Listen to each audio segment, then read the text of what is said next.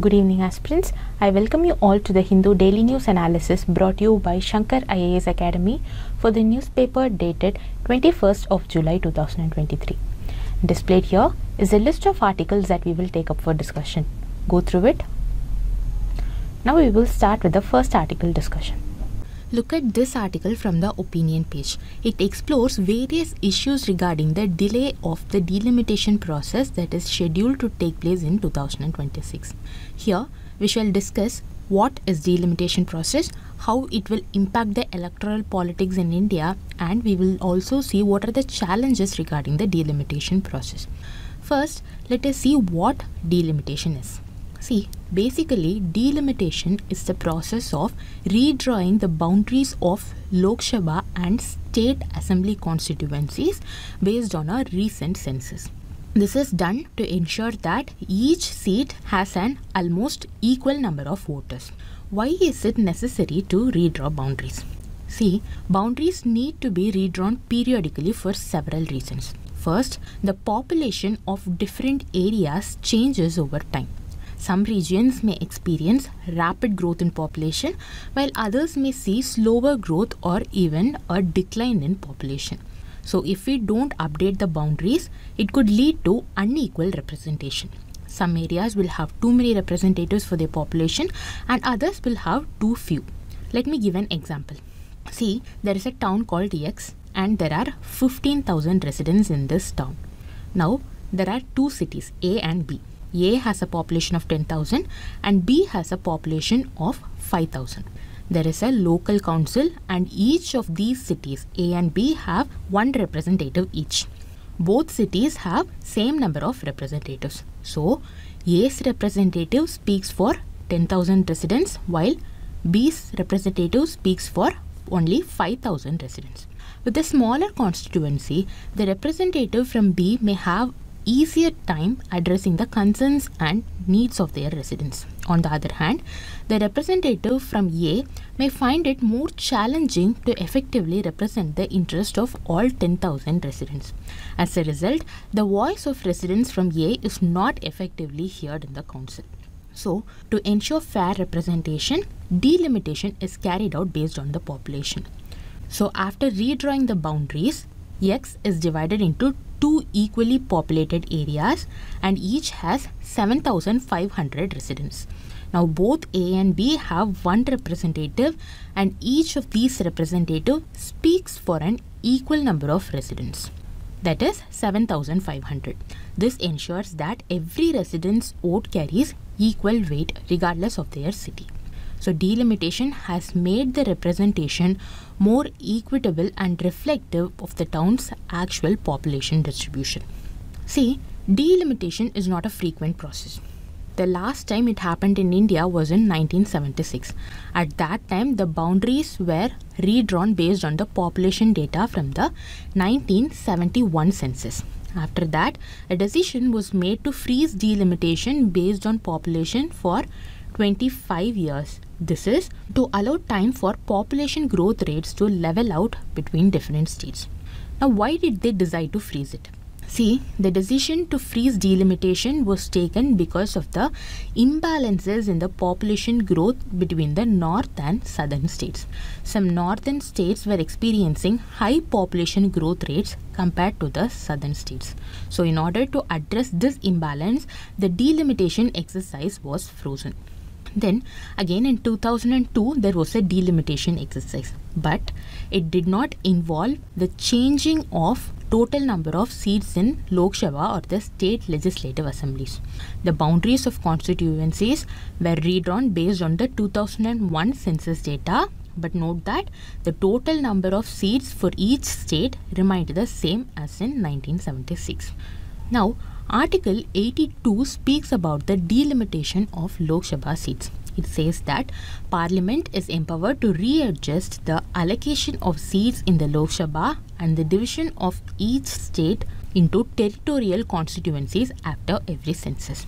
This is done by enacting a delimitation act after every census. So, after the commencement of the delimitation act, the central government constitutes a delimitation commission and this delimitation commission will demarcate the boundaries of parliamentary constituencies as per the provisions of the delimitation act. So this is about the delimitation for lok sabha elections. Know that article 170 speaks about the delimitation of state legislative assembly in states. So article 170 says that Parliament is empowered to readjust the total number of seats in the Legislative Assembly of each state and the division of each state into territorial constituencies after every census. So, both the delimitation exercise is performed by the Delimitation Commission constituted by the Parliament based on the Delimitation Act. Also know that central government has set up the delimitation commissions in 1952, 1962, 1972 and 2002 under the respective Delimitation Commissions Act for readjustment of Lok Sabha seats. See, we saw that after the 1976 delimitation exercise, it was kept frozen for 25 years. Ideally, it should happen after every census. The reason why we kept it frozen was due to imbalances in population growth between the northern and southern states. In 2002, we had a delimitation exercise, but even after the 2002 delimitation, the concern about population imbalance persisted. So it was decided that the first census after 2006 will be used for delimitation statistical data show that northern states like Madhya Pradesh, Rajasthan, Uttar Pradesh, and Bihar have decennial growth rates of 12% to 15%, whereas in the southern states, the growth rates ranges from 6% to 10%. So it is presumed that after 2026, the population leveling will take place. But there are issues. See, when they redraw boundaries during delimitation, some regions may lose seats because their population did not grow as much. This can make these states unhappy. Delimitation can also become political with parties trying to change boundaries to help them win more elections even if it is not fair. So this is called gerrymandering. See, gerrymandering is when politicians redraw the boundaries of voting areas to help their own political party win more election. They do this by manipulating the shape of the constituencies so they include more voters who support them. Also, India's diverse cultural and linguistic landscape complicates the delimitation process. Political parties often advocate for the creation of constituencies based on ethnic, linguistic, or religious identities and this can lead to tensions and conflicts. There is also a fear among political parties that migration between states might impact the electoral politics after delimitation. The next issue is that delimitation requires accurate and up-to-date data on population demographics. But the central government is delaying the process of census which may have an impact on delimitation process. The states that may lose representation could be unhappy and there is a significant presence of regional identity in many states. Therefore, the delimitation process could have significant political consequences and must be approached with caution. Despite all these challenges, delimitation is a crucial aspect for maintaining a robust democratic system in India. It seeks to uphold the principle of one person, one vote and it ensures that every citizen's voice is heard and they are represented fairly in the legislative bodies. So in this discussion we saw about the delimitation process, its constitutional provisions and finally we saw what are the challenges ahead of the delimitation process. So this is all that I wanted to discuss regarding this news article. With the learned points in mind, now we will move on to the next article discussion. Take a look at this article from the editorial page. This article is speaking about the issues surrounding the National Research Foundation Bill 2023. See, this new bill is going to be tabled in the current monsoon session of the Parliament. The NRF bill envisages to create the National Research Foundation, which is a centralized body that will look after the funding of research in our country. See, Despite the government taking such good initiatives to boost the research, there are some issues that need to be sorted out. This editorial article is also speaking about such issues. So in this discussion, we will understand about the NRF Bill 2023 and then about the issues surrounding the bill. Now let us start with the NRF Bill 2023. See, the NRF Bill 2023 has been introduced by the government as a part of the National Education Policy 2020. As we saw earlier, the bill envisages the creation of the National Research Foundation. The proposed NRF will function as a central coordinating agency in the field of research in our country. The agency will bring together researchers, government bodies, and industry to promote research and development in the country. As we all know, currently the central educational institutions like IITs, IASE, and NITs are getting a huge chunk of funds from the central government for research purposes. But if we take the state universities, they are lagging behind in research activities due to insufficient funds. So, the NRF aims to facilitate research in state universities. For this purpose, research grants will be provided to state universities by the NRF. Apart from this, funds for research infrastructure will be allocated. Now, where the funds would come from? See, the government said that the NRF will operate with a budget of 50,000 crore for over 5 years. Out of this, 28 percentage of funds that is 14,000 crore will be contributed by the government and the remaining 72 percentage of funds that is 36,000 crore will come from the private sector. See, out of the government share of 14,000 crores, 4,000 crores will be allocated from the existing budget of the Science and Engineering Research Board. Currently, we have a Science and Engineering Research Board. This body provides financial assistance to scientists, academic institutions, R&D laboratories, industrial concerns and other agencies for research purposes. Note that this SERB will now be integrated into the NRF. So, the existing budget of the SERB will be also allocated to the NRF. With this information, now let us understand the issues surrounding NRF.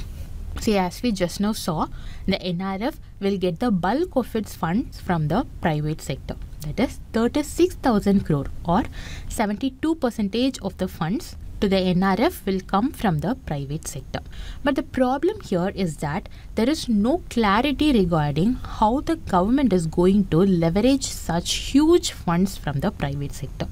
See, in countries like China, US, and Israel, the private sector contribution to the research is more in the past few years. In such countries, around 70% of the research funds would come from the private sector. But if we take India, the private sector contribution was only about 36% of the total research expenditure in 2019 to 20. Therefore, there is no clarity regarding how the government is going to attract more private money. For this issue, the author of this article provides some suggestions. The author says that the annual corporate social responsibility obligations of the private companies would be directed to the NRF. This will be very helpful for the government to get funds from the private sector without adding extra burden on them. If we look at the data from the Ministry of Corporate Affairs, it shows that the private companies spend around 14,588 crore rupees as part of their CSR obligations during financial year 2022. The trend further shows that nearly 70% of such CSR funds were spent in education, healthcare, and sanitation projects. But the problem here is that many of the private companies spent this fund within their own communities. So, if the government diverts some of these funds into the NRF, it will help to attain the goal of boosting research in our country. So, to conclude, the government must devise suitable legislation to attract funds for the NRF from the private sector. This will ensure smooth funding and in turn boost research in our country. This is all that I wanted to discuss regarding this news article. With the learned points in mind, now we will move on to the next article discussion. See, The GST Council, on its meeting held on July 11, decided to impose a GST of 28% on the full face value of the bets placed in horse racing. The turf authorities of India has expressed its disappointment towards the decision of the GST Council.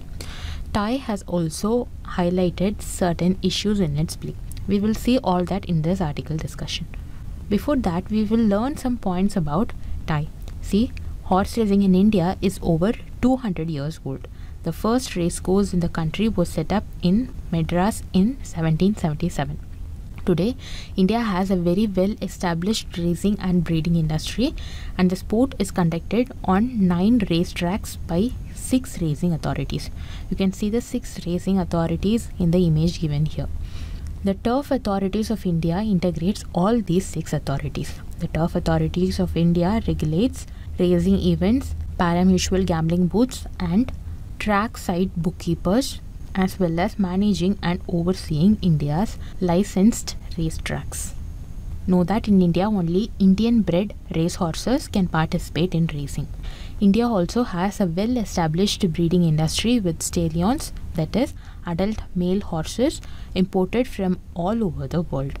The Indian Stud Book maintains records of all breeding activity in India. India has a mixture of both pool betting and traditional bookmakers. So this is about TAI. Now let us quickly go through the issues mentioned by TAI in its plea. Firstly, TAI said that the turnover of the industry has dropped significantly from 17,000 crore rupees before the introduction of GST to approximately 6,400 crore rupees after the introduction of GST. Secondly, after the introduction of GST, the level of dividends paid to the racegoers has decreased by almost 50 percentage. This in turn has resulted in decline in patronage for horse racing. The absence of investment in the sport with reduced returns to the racehorse owners are posing a significant threat to the sustenance of the agro-veterinary industry as well. Thirdly, since the revenues to the clubs have dropped, the overhead cost has increased. Overhead costs are those that are not directly related to the production of goods or services but are necessary for the operation of the business. Example of overhead costs include rents, utilities, insurance, legal fees, office supplies, advertisements and all these. According to TAI, labours have also been displaced in order to meet the increased overhead costs. The issue here is specialists like trainers, jockeys, etc. cannot be employed elsewhere. Like that, employment to nearly 2 lakh workers, both direct and indirect, and mainly rural based, are in danger. Fourthly, many grey channels of betting came up, which has led to the erosion of the very foundation of racing and has caused tremendous loss of revenue. So, considering all these issues, TAI has asked the GST Council to reconsider its decision to impose 28% GST on the full face value of the bets placed in horse racing. So this is all that I wanted to discuss regarding this news article. With the learned points in mind, now we will move on to the next article discussion. Look at this news article. It talks about Project Cheetah.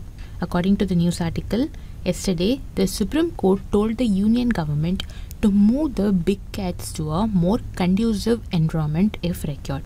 Supreme Court said this because already 40 percentage of the 20 cheetahs brought from South Africa and Namibia to the Kuno National Park has died within a year. This is the crux of the news article given here.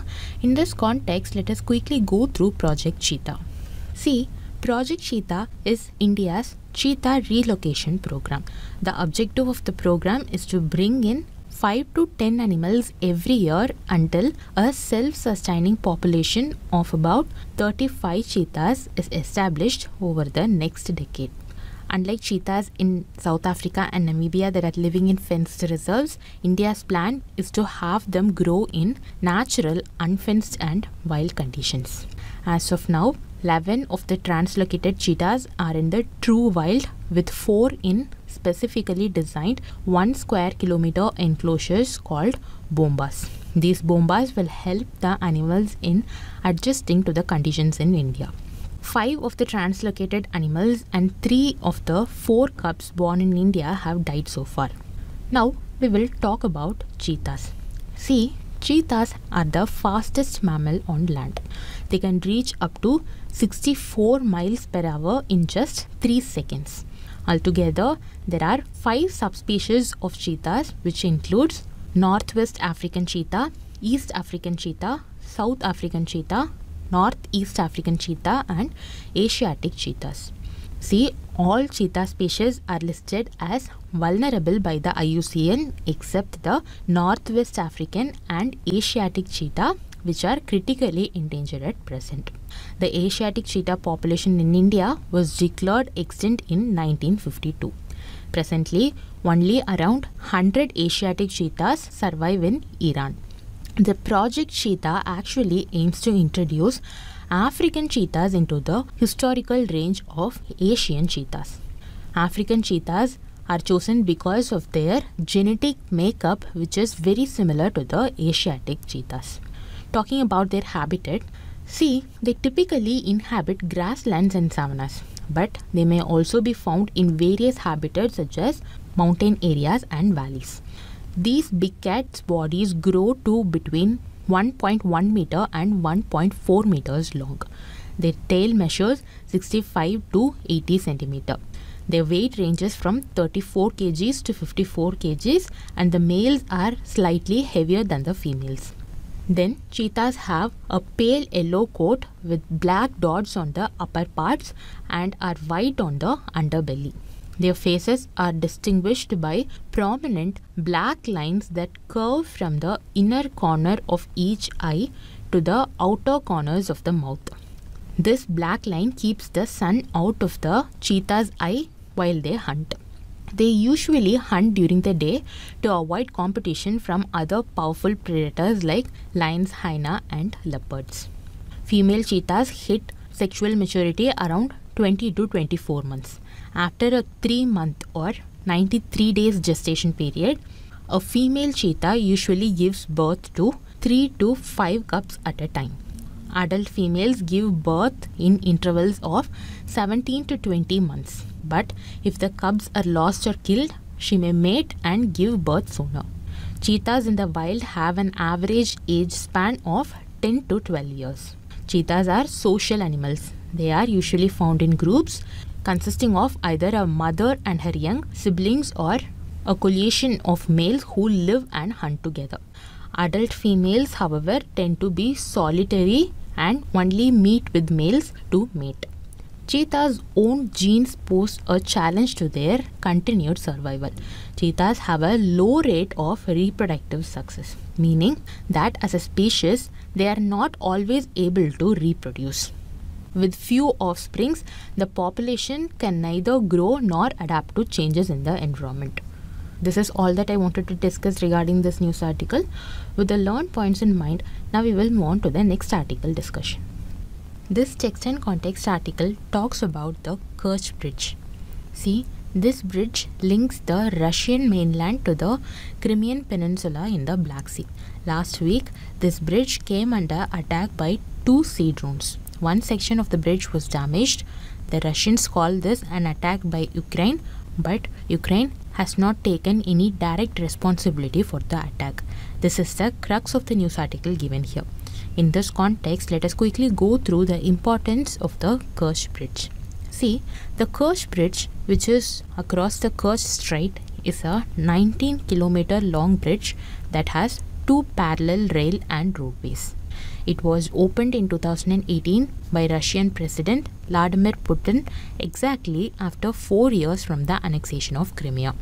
See, Crimea was technically a part of Ukraine since 1954. Later, in 2014, Russia annexed it after a controversial referendum in Crimea in which the majority of the population voted to join Russia.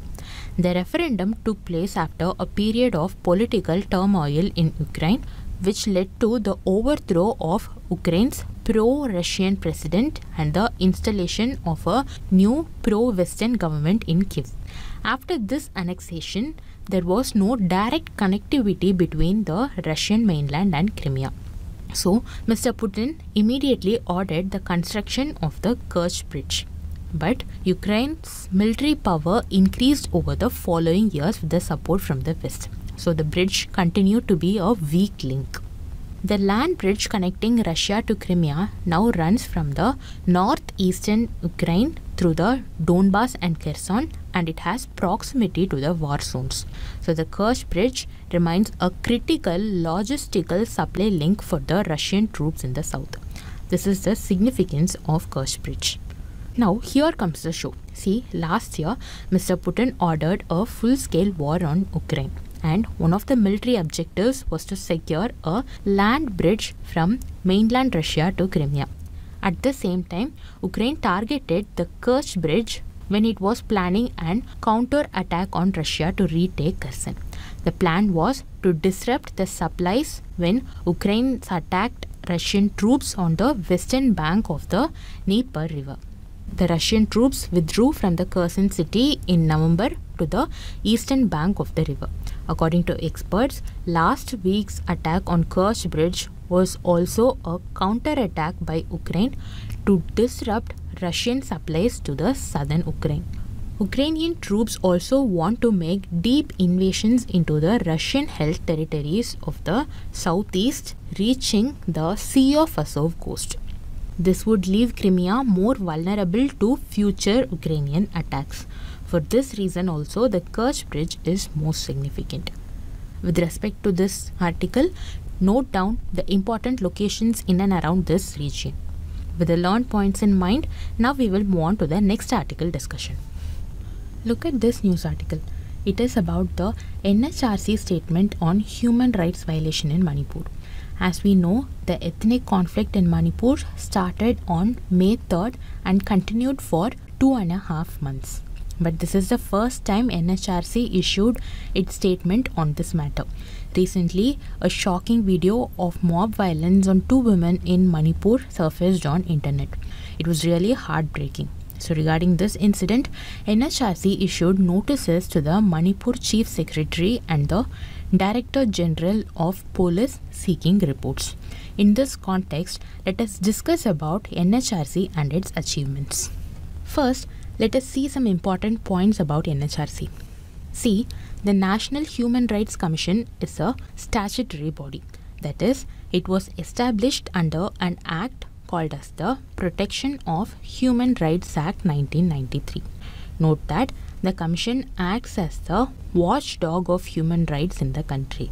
That is, the rights relating to life, liberty, equality, and dignity of the individual because these rights are guaranteed by the constitution or embodied in the international covenants.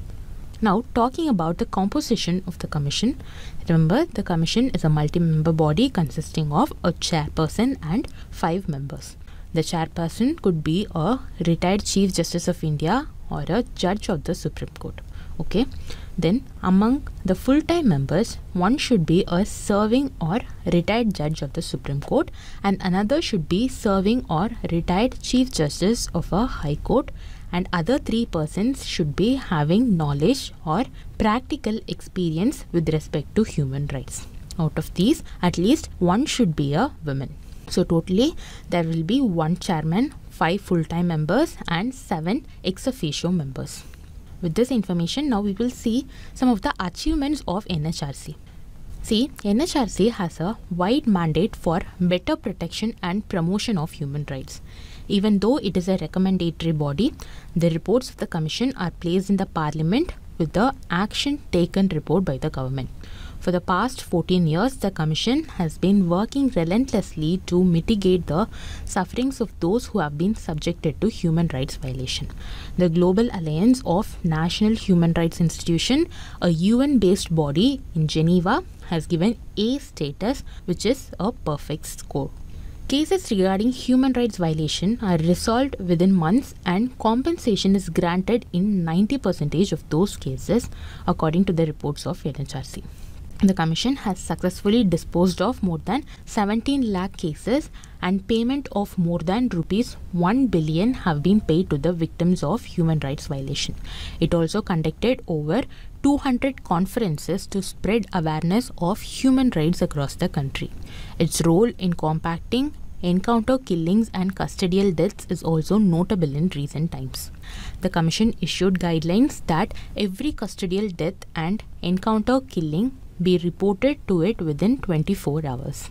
It also recommended police and prisons reforms in order to reduce custodial deaths. Note that the Commission also introduced a fast track system for handling complaints.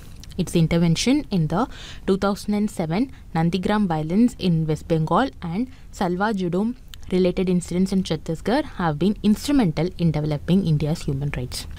Then, NHRC also played important role in monitoring the misuse of Terrorist and Disruptions Prevention Act of 1987.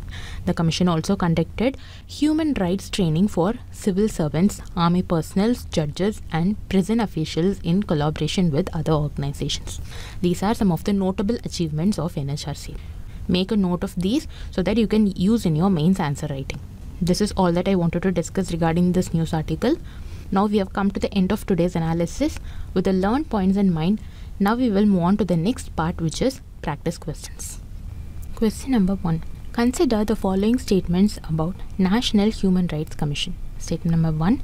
The chairman and members are appointed by the president on the recommendations of Prime Minister and the Chief Justice of Supreme Court. Statement number 2. The members hold office for a term of 6 years or until they attain the age of 65 years. Statement number 3. Recommendations of the commissions are binding on the government. How many of the above statements are correct? See, statement number 1 is incorrect. The chairman and members are appointed by the president on the recommendations of a six member committee consisting of the prime minister as its head, the speaker of the Lok Sabha, the deputy chairman of the Rajya Sabha, leaders of the opposition in both the houses of parliament, and the union home minister. Here, statement number two is also incorrect. The members hold office for a term of three years or until they attain the age of 70 years, whichever is earlier. Here, statement number three is also incorrect. Recommendations of the Commission are not binding on the government, they are only recommendatory in nature.